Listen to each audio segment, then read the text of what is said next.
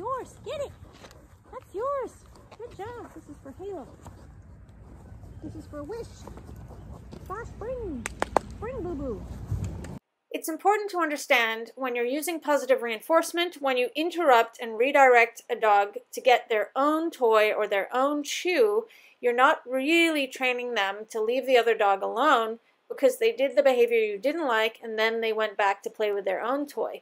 Instead, you really have to focus on those training games where you're reinforcing the dog for leaving the other dogs alone with food and toys in training sessions and then if you find you're interrupting your dog a lot, you have to reduce criteria. Two exercises that are greatly beneficial to work on are taking turns in training sessions and teaching your dog to settle with distractions.